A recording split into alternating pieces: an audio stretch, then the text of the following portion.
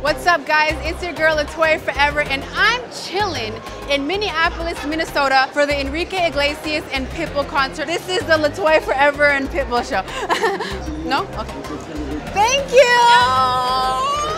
I have VIP backstage passes to interview Pitbull.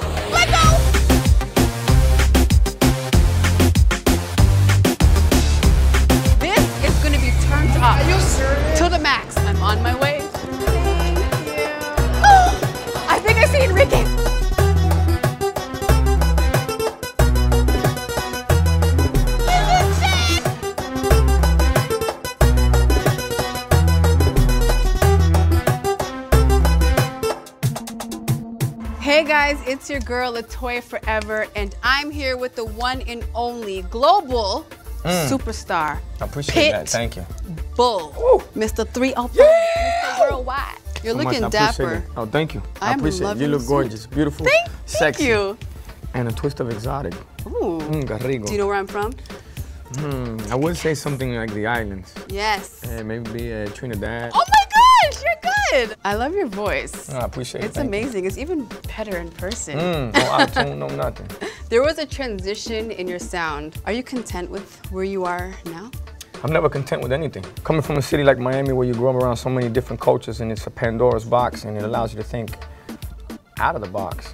So you, you never get afraid of trying new genres. And the thing is with me, people always try to categorize the music that we do and I just tell them straight up, it's real simple.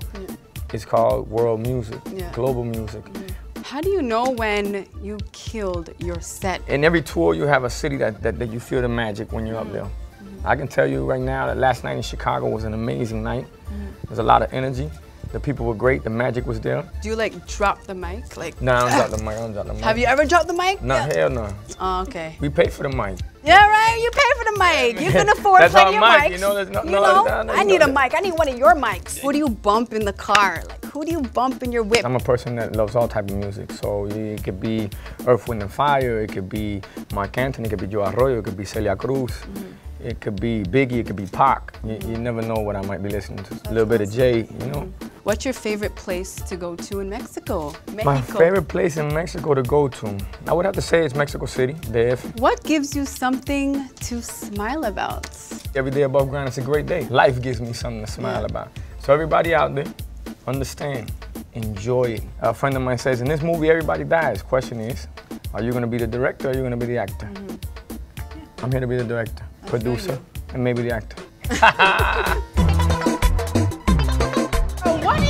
something to smile about? What's your something to smile about? What gives you something to smile about? Enrique Iglesias. I just want to see Pitbull in some tight pants. I had an interview backstage tonight and they asked me, when is it that you know that there's magic? And I want to say thank you, Minneapolis, for giving us the magic tonight. We appreciate that.